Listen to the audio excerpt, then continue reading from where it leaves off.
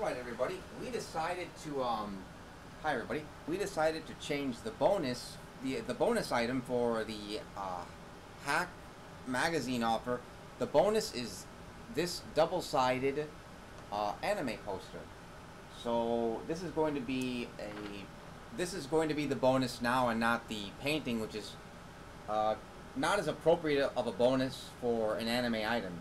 So, the the GU Hack the World magazine is accompanied with this bonus, which is more appropriate to uh, basically a manga item, and then a bonus item, which is also a manga item. Okay, thanks, guys.